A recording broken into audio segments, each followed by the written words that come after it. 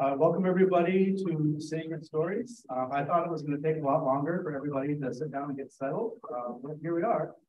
Uh, so to start things off, um, I'd like to invite Joel Moffat up to the stage. Joel, hand is yours.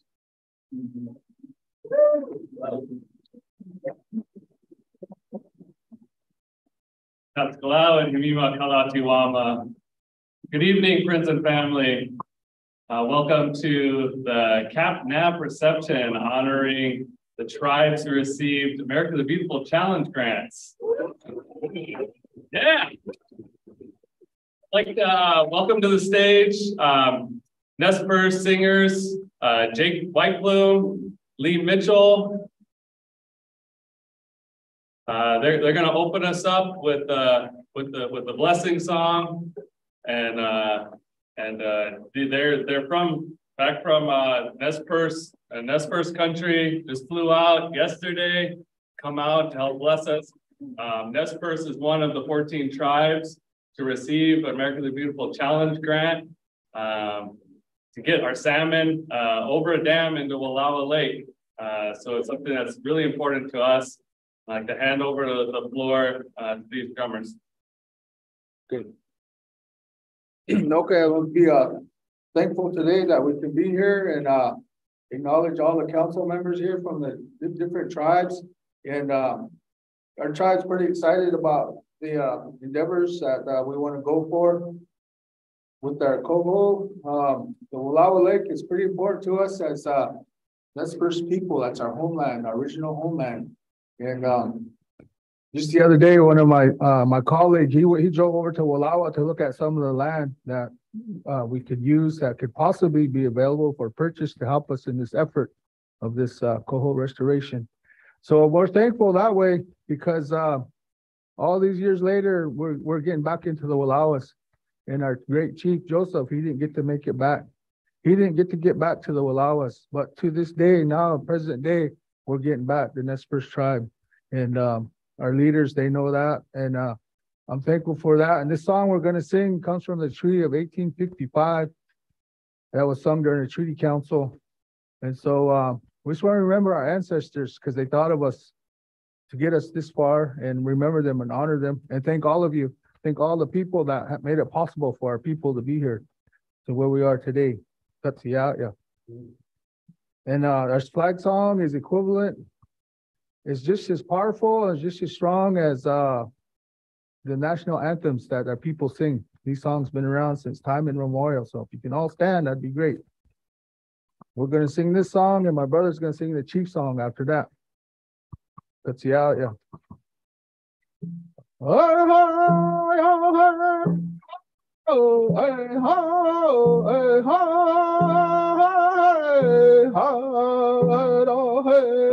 Oh, ho, hey, ho, hey, ho,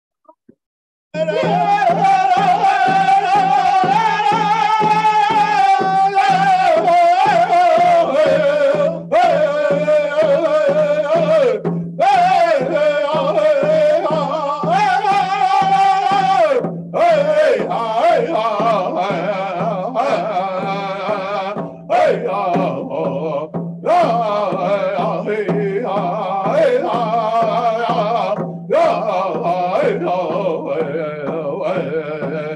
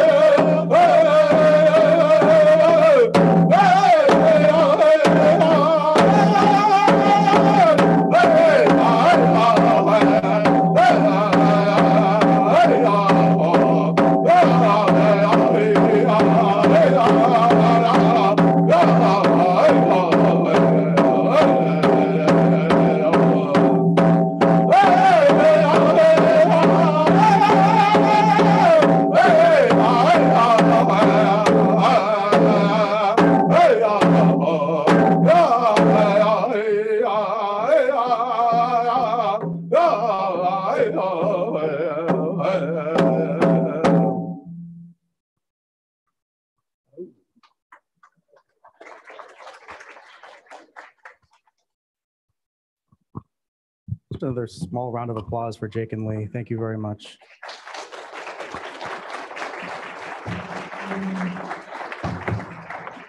Well, hello, everybody. Welcome to Sacred Stories. My name is Angelo Villagomez, and I am Chamorro from the beautiful island of Saipan.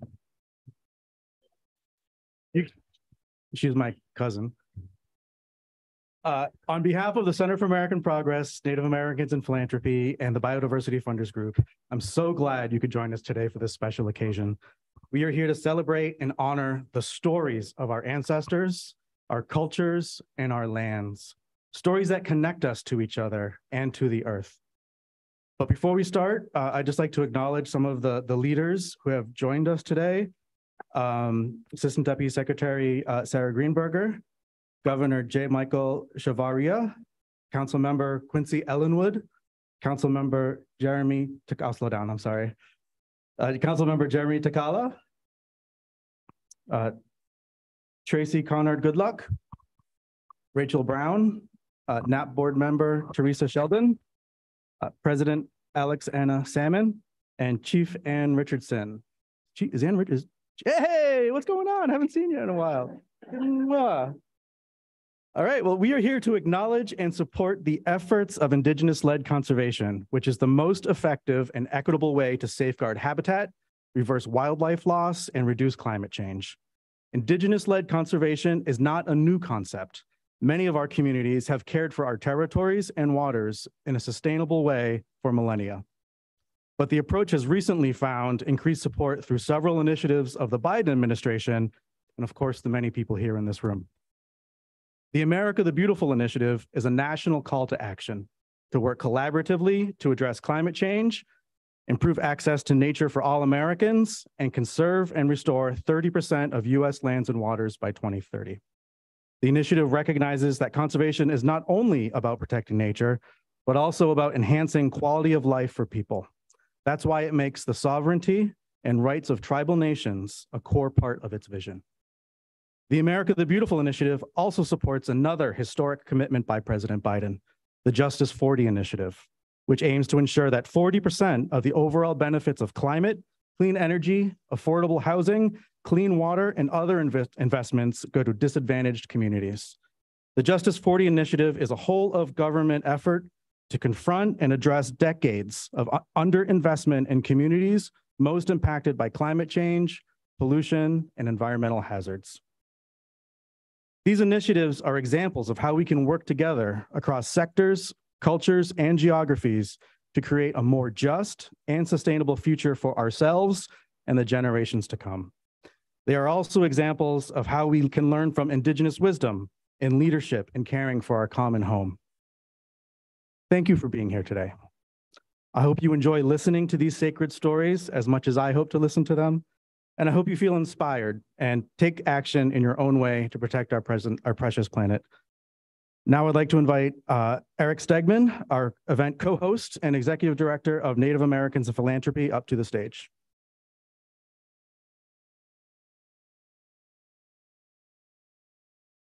Good evening, everyone. Thank you so much for joining us here this evening. Um, I first want to uh, thank our, our singers for opening us with such a beautiful blessing.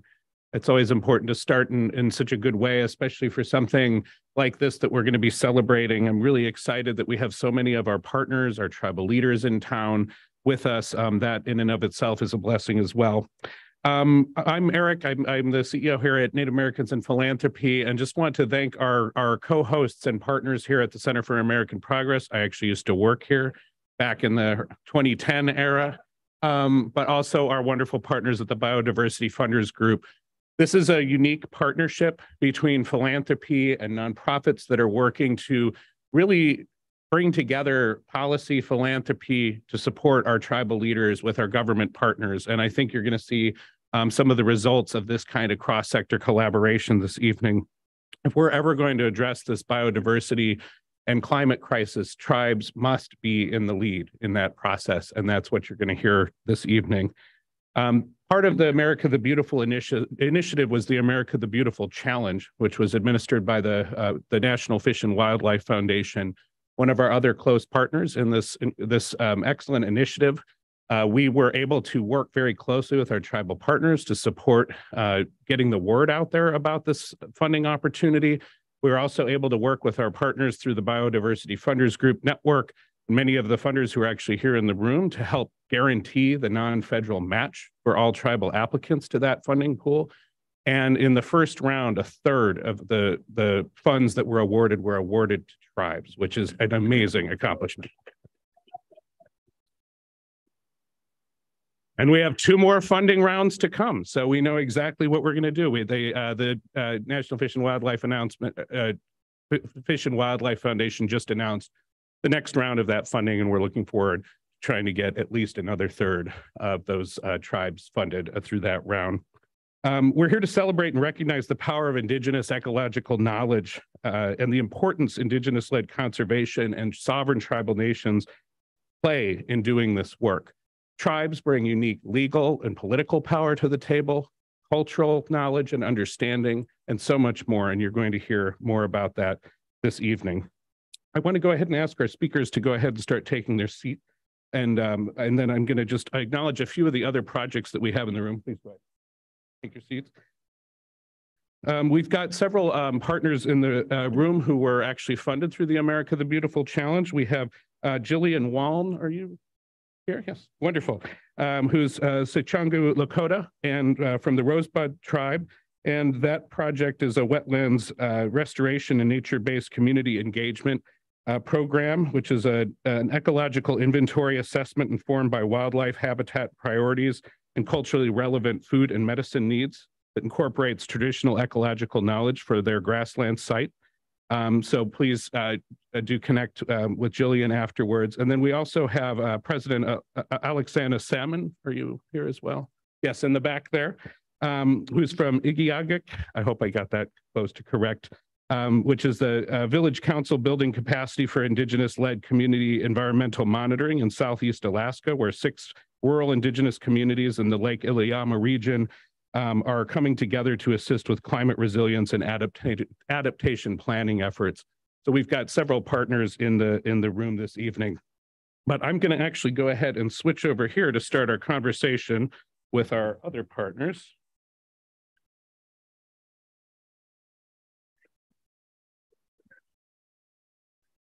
What the organizers told me. Okay. Thanks, sorry about that. Um, all right, well, we're really honored to have um, some speakers here who are going to really share what this work looks like on the ground in our communities. And I first want to introduce Jeremy Takala, who's a councilman from the Yakama Nation. And can you tell us a little bit about the kind of work that you're doing through the America the Beautiful Challenge and, and what tribal uh, conservation looks like from your community standpoint? What are some of your, what's your vision for this work in your community? Okay, introduce myself real quick. Yes. So, uh, Nick Clawet, uh, Inawanisha, Bakanisha, Shapatimki, Jeremy Takala, uh, Huapamiana, Chi Clawet pa, uh, Washna Shtawa, Kinchiwana uh, Mitpa Band, uh, YM, Pawan pa, um, the Yakama Nation. Uh, good evening, everyone. My name, my, my, uh, Indian name is Bakanisha. Uh, my English name is Jeremy Takala.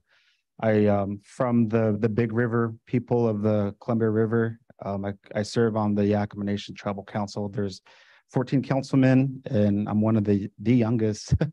and um, I actually came from the fisheries program prior before getting elected onto tribal council.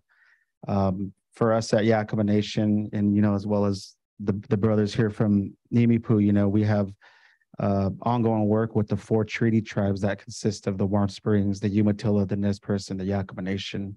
Uh, we are a U.S. v. Oregon tribe. Um, you know, we have quarterly meetings working with the co-managers uh, when it comes to um, the the salmon and restoration work that occurs in the region.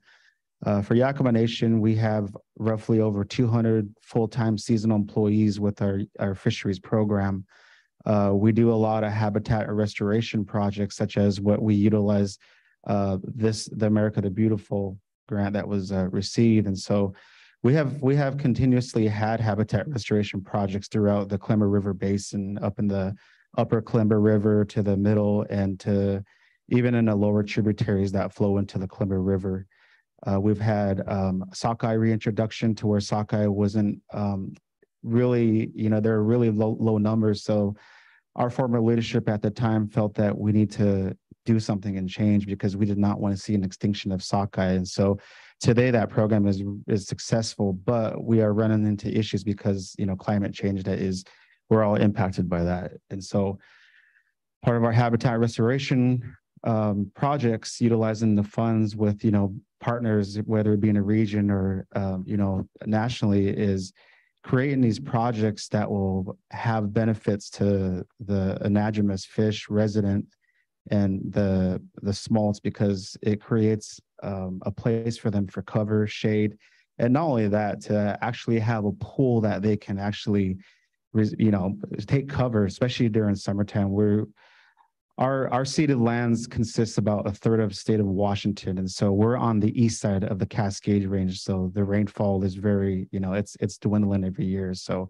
we don't have much as much snowpack as we used to so in preparation, you know, we have a um, a salmon strategy plan that's been adopted through our council that our fishery staff has worked closely. It, it's funny to say this, though. I really feel like it's outdated because continuously we're trying to up keep up, you know, with the ever changing climate. So. Um, that's just one one piece. Uh, we we have a lamprey project. We have sturgeon project. Uh, most recently, we received additional funds to actually put forth um, a residential fish study program like trout, whitefish, bridge-lip sucker, um, the list goes on. So um, I just want to share that much. And uh, yeah, that's that's what we utilize our, our funds mainly for. But also, you know, um, I want to mention because our, our people, you know, we're historically um, removed, you know, from the Columbia River. Some some of them, our people still remain year round, but because of the hydro systems that were put into place, you know, it really impacted the salmon runs where we had 17 million plus returning to now we're only about just a million returning now. So you can you can really see, you know, the the impacts of hydro systems, but we are we are working, you know, the, the federal trust responsibility is very important that the Corps and BPA work with the tribes that are bringing back the salmon. One thing I will point out though is it, it's it's always it's very remarkable that the tribes here they're not responsible for the changes the progress that was made you know through the construction of hydro systems but yet here we are the tribes are taking initiative to you know bring back the salmon bring back the lamprey the sturgeon and you know utilize these funds towards those projects so thank you Thank you so much. And um, we're also really honored to have Governor Chavarria from uh, Santa Clara Pueblo. Can you introduce yourself? Tell us a little bit about where you come from and, and the kind of work that you're going to be doing with this initiative. uh wapare um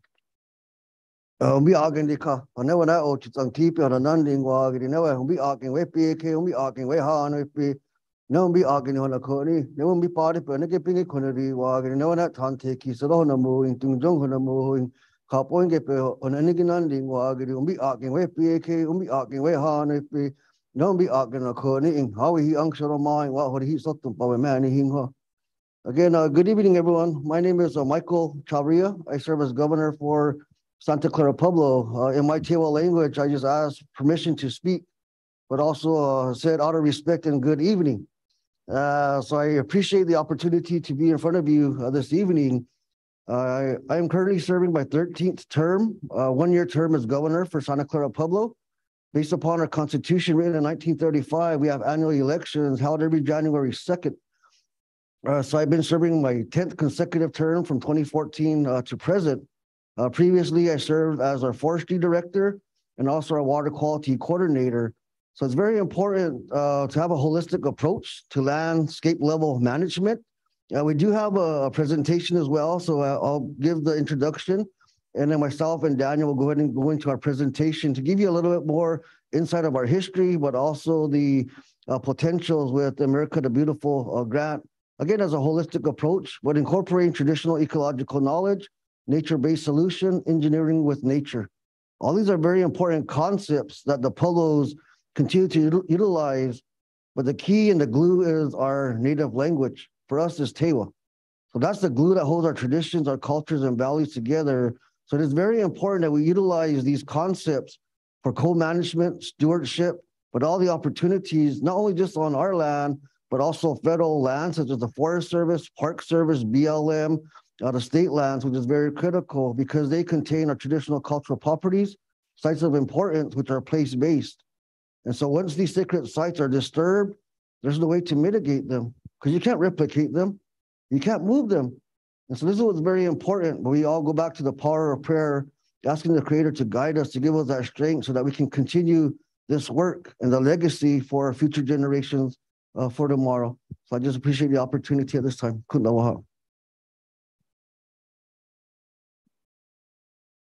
Well, good evening, everybody. My name is Daniel Denipah, and uh, like uh, Governor Chavarria had mentioned, I am the Director of Forestry. Um, Kind of touch a little bit on, on everything that he said as well, and uh, kind of piggyback off of what he's uh, talking about and, and a lot of the, the stuff that we're going to be doing, especially with the America the Beautiful grant. You know, we have the opportunity to uh, kind of base everything off of what we've done prior to everything and kind of build on that. Um, Santa Clara has had four ponds that um, were actually inundated by uh, sediment and uh, we had hundred percent fish kill up there. And we're looking at trying to get those ponds reopened, uh, reestablishing a, a permanent road and, and preserving actually what we have left of forest areas up there. Uh, we had damaged uh, from three previous fires. And we'll get a, a little bit more into that, like he had said with the um, presentation that we have uh, going on.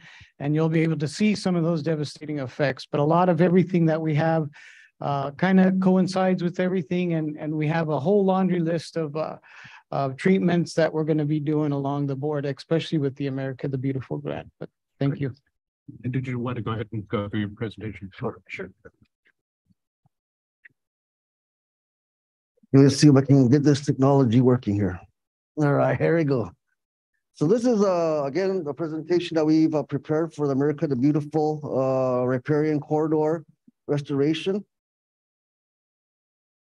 Uh, so next is uh, Kha'p'o or Santa Clara Pueblo. Our table name is Kha'p'o Owingeh, which translates to the Valley of the Wild Roses. The history of, of Santa Clara Pueblo, did I go too far? There we go. So the history of Santa Clara Pueblo, the current village of Santa Clara Pueblo is one of the oldest occupied settlements in the United States. Having been in our present location since for about 600 years, Prior to our present location, we inhabited the Jemez Mountains or Pajarito Plateau at our ancestral village of Buje or Puye Cliffs, which remains a significant uh, landmark for visitors, but also Santa Clara Pueblo. However, like most other tribes in the United States, we lost much of our aboriginal lands to other governments and settlements. Since inhabiting our current land area, we coexisted with the Spanish crown, the Mexican government, but also the United States government. So what we have here is showing the kids doing the corn dance, but also the deer dance. And so these are the traditional activities, the dances we still utilize today to showing that connection to the landscape, the natural materials and resources, and giving thanks to the animals, but also to the corn uh, after harvesting. We also give thanks to them for giving us the subsistence for our people. So our culture uh, is very dependent on our lands. We use our lands for hunting, fishing, gathering food, medicines, and agriculture. But most importantly is our spiritual sanctuary.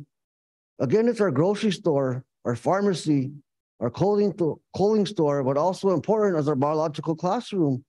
So this is very important of that connection of how I mentioned the holistic approach to land level uh, management.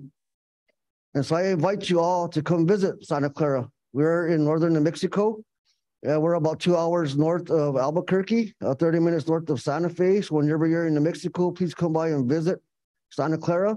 But from here, I'm going to turn it over to uh, Daniel so he can go ahead and provide more information on the fires and the activities that's happening. But thank you. Kudawaha.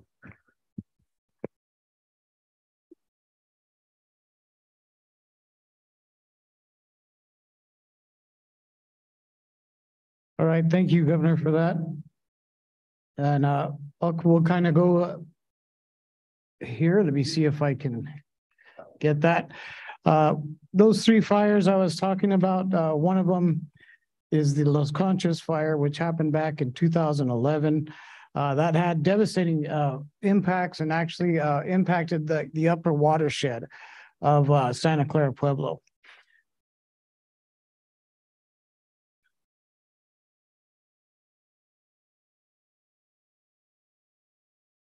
Okay, and uh, just to, kind of go back on that and, and look at, um, oh, I think I went too far.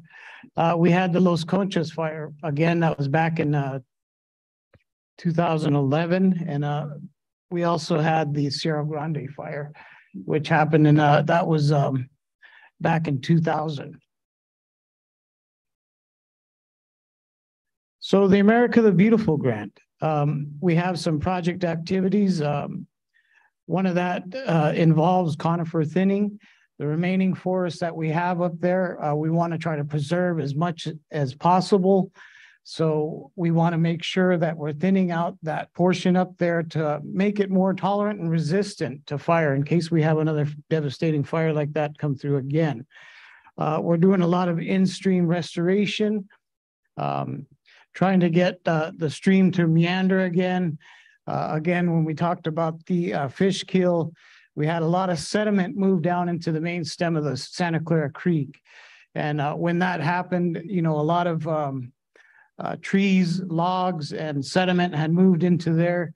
And it took us quite a while to even uh, get into some of those places because we had to reopen the roads and and look at other stuff. So we finally took what we called a, a top-down approach um, because of the erosion that was happening there. Uh, and you, everybody knows that erosion travels uphill. So we got to the top of the mountain and started cutting off that erosion, working down till we finally hit the mainstream of the, the Santa Clara Canyon. And that's where we're going to start doing our in-stream uh, restoration work. We, uh, we're also looking at riparian tree planting. Uh, we did about 750,000 uh, seedlings planted. Those were all commercial tree species.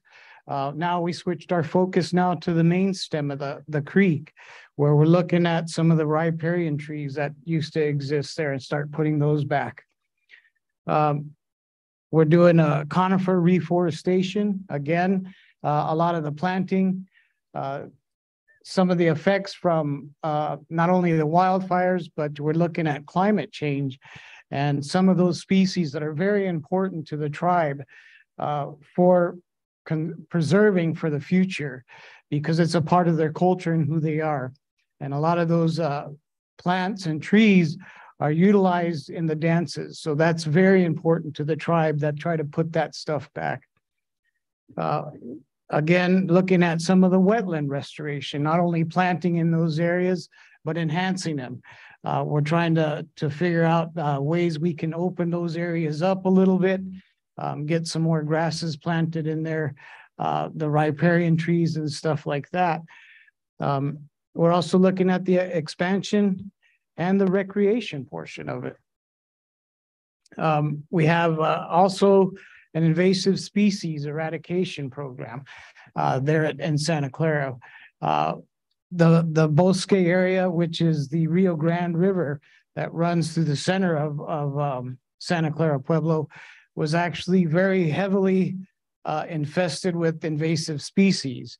We had a lot of um, uh, what they call Russian olive, Siberian elm. It was uh, basically changed the whole ecosystem down there. Uh, we managed to take and treat about almost 2,000 acres of that area down there and open it back up. Uh, when we found, when we, we look back on that, you know, trying to put back things historically the way they were uh, prior to the invasive species, uh, we started noticing there was a loss of, of habitat um, for for some of the cottonwood trees there and some of the uh, stuff that used to be harvested uh, a long time, which is asparagus. And you can't find that stuff in there anymore. And it's a big loss. And, you know, uh, the elders area will also tell you, well, you know, we used to always find this stuff at a certain time of year. It can't be found there anymore. But uh, now that we've opened some of those spaces, and we want to continue treating some of that and, and continue because it's it's an ongoing effort. Uh, we still have properties up that uh, abut Santa Clara Pueblo, and and uh, they they don't treat those lands. So we have a seed source that comes back onto the tribe, and we're consistently battling that, and that's uh, the reason for us um, trying to do some of that invasive species eradication. Uh, we're looking at doing some water developments, uh, opening up the ponds again, uh, getting the stream to re-meander.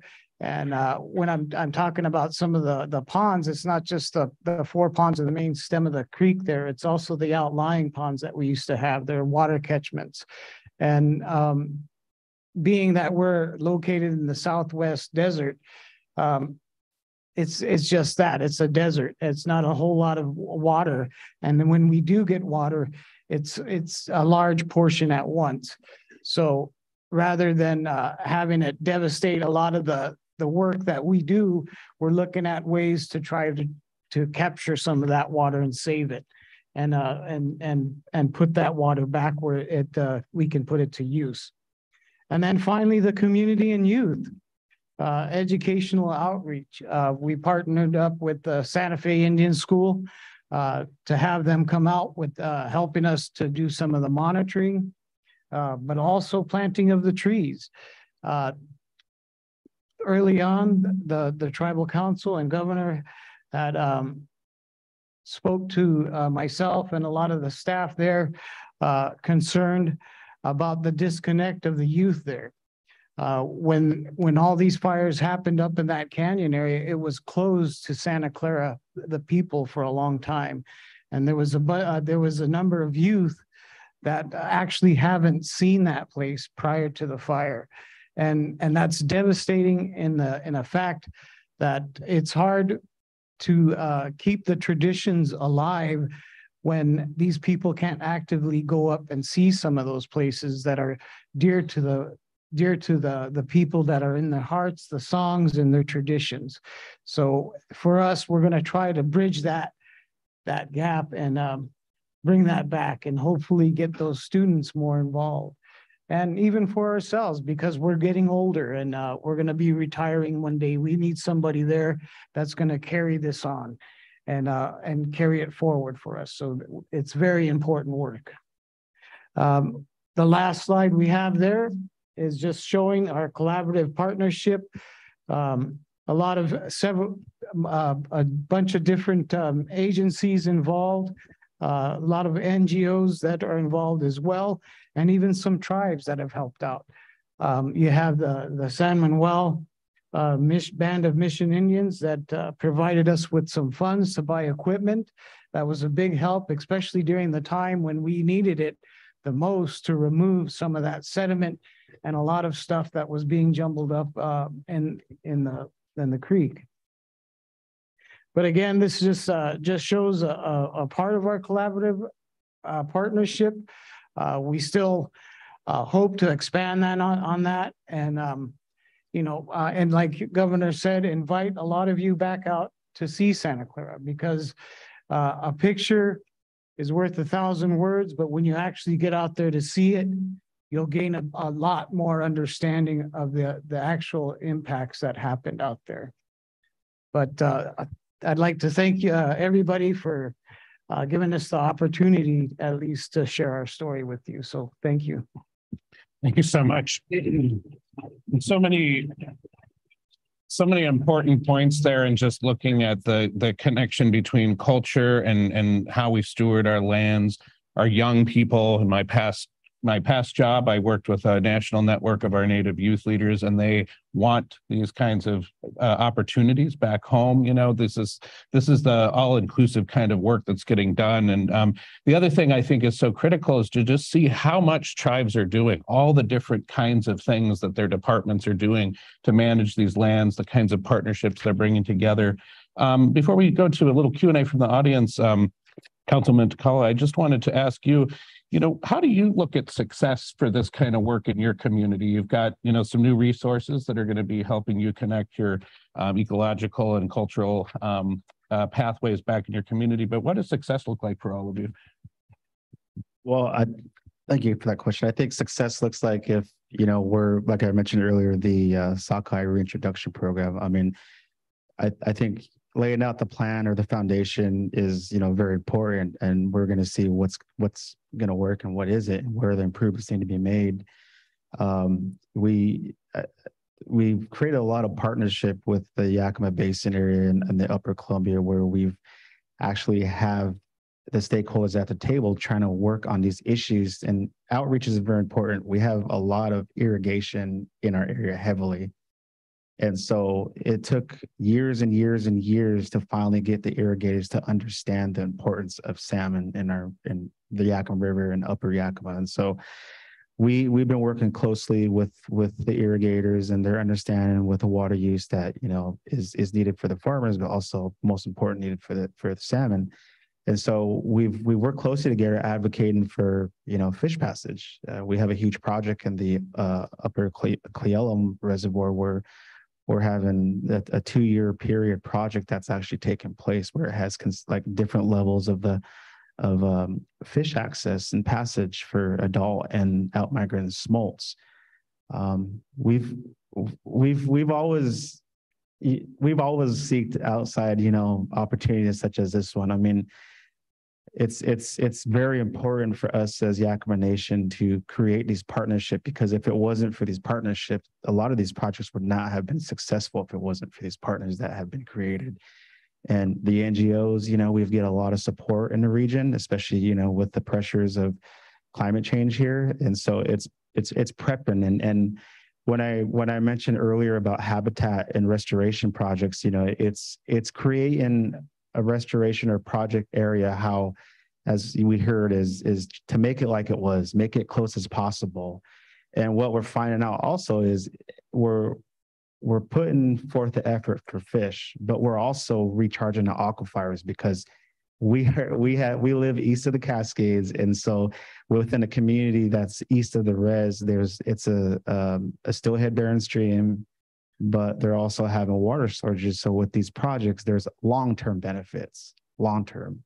And so that's the success right there, you know, because we're trying to sit there and understand, okay, it's going to benefit the fish, it's going to benefit the wildlife, it's going to benefit the ecosystem, but how is it going to benefit the people, you know? And that's that's that's the success right there is long-term aquifer recharge and the list goes on.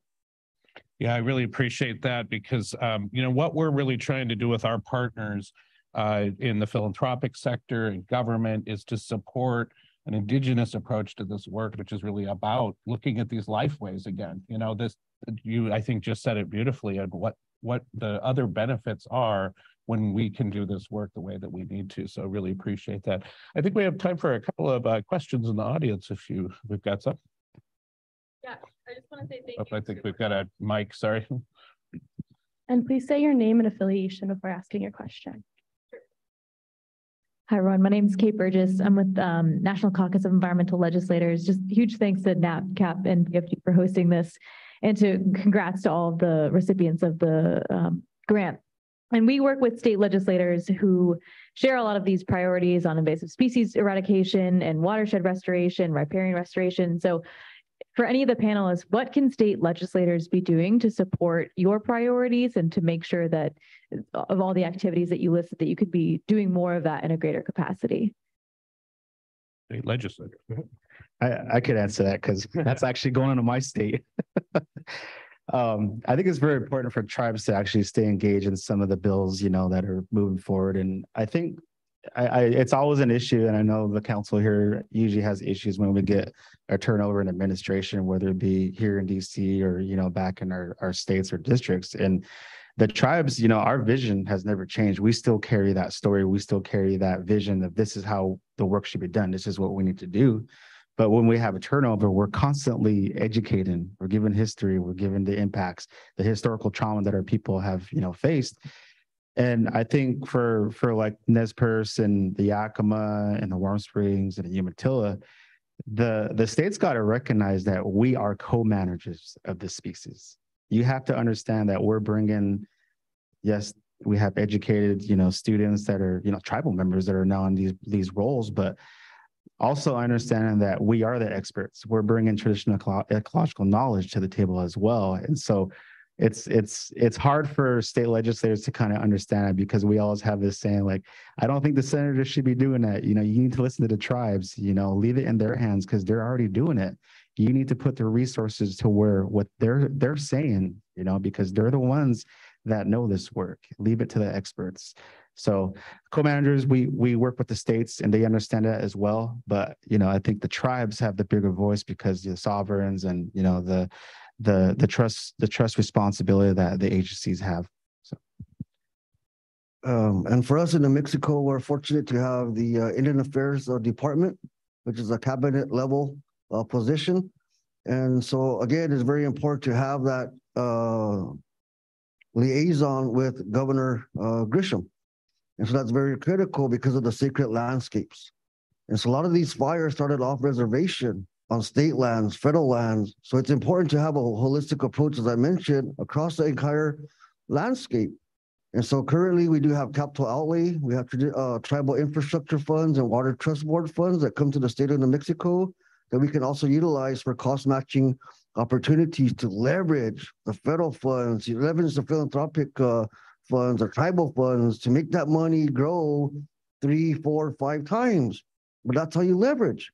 So having that um, connection to the landscape, but also to the state, but also to the federal government is very critical so that we can provide more opportunity uh, for the future.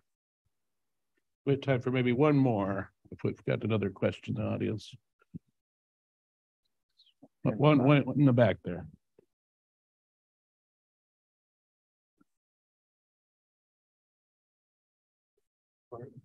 Hi, thank you. Can you hear me all right? Yeah. Great. Um, I have a question about funding. Right now, you all are in a pretty um, amiable situation with the current administration. So I was wondering whether or not you're concerned about um, your funding for the current projects that you have, or is you know the relationship that you have and the funding that you have insulated from new change and new administration. So are you going to be able to keep doing the same things that you can that you've initiated right now or with the new administration? You know, how confident are you that you can keep these great uh, partnerships that you have going with the, the federal government going? Anyone want to take this? Okay. well, yes, it is an important, uh, again, to meet uh, with the president, but also with Secretary Haaland. and all the other agencies within across the federal agency spectrum. So it's very important that we showcase our talents, showcase our skills, our knowledge, that traditional ecological knowledge of how we utilize these resources. So we have to, we built up our internal capacities and capabilities to manage fire, to provide or uh, implement hazardous fuel reduction projects, ecological restoration, water quality. Some of us have water quality standards. So all these things are very important to showcase to the federal government as our trustee in these type of relationships so that we continue to advocate Congress for further appropriations to then uh, add more to the pie. So this week, they are having hearings on the Hill on the House Interior Appropriations Committee. So these are very critical importance that we're out here to testify before Congress. Because if the federal agencies don't get the money, then we don't get the money. So this is what's very important. And we appreciate all of you, part of this philanthropic community, because then we reach out to you to help support us, which is very important. We are a partner. We are a team. So utilizing our expertise Using our, utilizing our knowledge, our skills, our talents that the Creator has given to each and every one of us is very important. So I, I seek your help to help us. In return, we help you. But this is very critical that we continue to make our trips here to Washington and advocate Congress for additional appropriations, which is very critical because it cannot end. Climate change is real. Fires are real. Insects and disease are real three to 5,000 stems per the acre in a forest is an unhealthy forest condition. So all this is very critical, but utilizing the data, utilizing the projects that we implement it showcases that, yes, as tribes, we are capable to do these projects on a multitude land level restoration and activities, but we got to continue to advocate for additional funds to keep coming. So I'll uh, thank you for that. A good question. Actually, that's why Councilman Ellenwood and I are here too this weekend, so or this week. We we struggle. We struggle with that. I mean, there there's a trust responsibility that the federal government has to the tribes, you know, and that's that's you know that what guarantees you know in our 1855 treaty that you know we have the right the right and um, to fish at all usual and the custom areas, and so without fish, then there's no treaty, and so it's very important that we still stay engaged we have we call this thing the billion dollar backlog in the region and congress is like yeah we we support it but where's the resources? Because we have we have shovel ready projects that are ready to go. They just need the funding. And it, it's a struggle because we're always at status quo. If anything we're probably actually cut back on some of the fish and wildlife funding that should be going directly to the tribes. And when that situation happens it feels like a paternalistic feeling because we're getting the funding, but we have to report what do we it. You can't use it for this, you can't use it for that. You know, so it delays the project and we lose out on some of the relationships that we have within the different communities in in Washington, you know, and doing the outreach, trying to talk to the community about this is what the Yakama Nation would like to do. To, these are the benefits of this project. But when we are delayed because you know the the the, the bureaucracy, then we never get anywhere. We always a part of that billion dollar backlog includes hatchery infrastructure, fish passage, even even for the hydro system upgrades because those are also failing. And so it's it's kind of I don't know. To me, it's kind of um, I guess in a way it just seems kind of amusing how the tribes are advocating for some, but yet we're also advocating for infrastructure for some of the hydro systems because they they need improvements. You know, they do for fish passage. Um, Part of that includes habitat restoration. A part of that includes predation because climate change is here. We're having aviary predation. We're having uh, non-native species predation that are just, you know, eating our, our outmigrating smolts out to the ocean. We have sedimentation management that needs the resources because the Columbia River, it functions, it's it's like a lake, a system of lakes. So you have deltas that are just going stretching all the way across the Columbia River to where it's just an area for easy prey, easy, you know, and these poor things are just trying to get out to the ocean or they're returning back. The past few years, we've had issues with adults returning. We had sockeye that returned and returned. We had sturgeon that were, you know, they're they're landlocked. Sturgeon are landlocked in, in the Columbia River. And these poor things were seeking cold water refuge because why the Columbia River was too hot. And so they're going into these tributaries to where they're not, they're not from.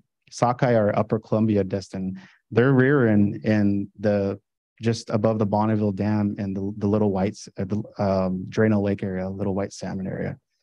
And so that's a delayed, you know, response. It's not guaranteed. Once the Columbia River cools down, that they're going to make it back to its, their spawning grounds or to the hatchery. And so these are the the issues that we have. I mean, we're advocating over and over and over. Put put the tribes at the table. Put them as the co-managers. Stop micromanaging the tribes because we want to get these projects on the ground. Thank you. Thank you. And I think one of the other just things I wanted to highlight is that uh, this is why we are so committed to these public-private partnerships to support tribes um, at Native Americans in philanthropy.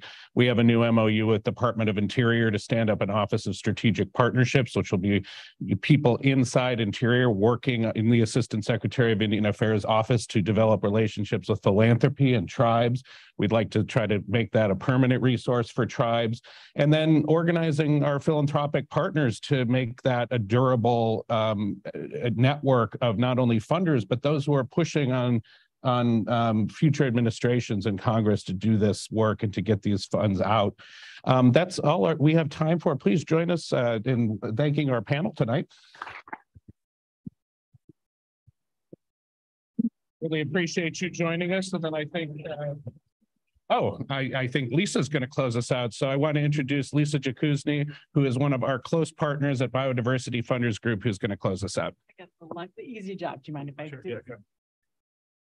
All right, I don't want to stand between anybody and the rest of this wonderful party, but I do want to thank our incredible tribal leaders here tonight for joining us and telling the stories that we really have, you know, just compelling stories that we all need to hear about tribal-led conservation. Um, I also want to thank Native Americans in Philanthropy for your partnership and especially to Erik Stegman for all of his leadership in this work. Um, a big thank you to Center for American Progress for organizing this event, this wonderful evening of celebration. Um, so Biodiversity Funders Group has been honored to work with these great organizations because we really believe that addressing one of the greatest challenges of our time, climate change, begins with honoring the knowledge and leadership of tribes across the United States.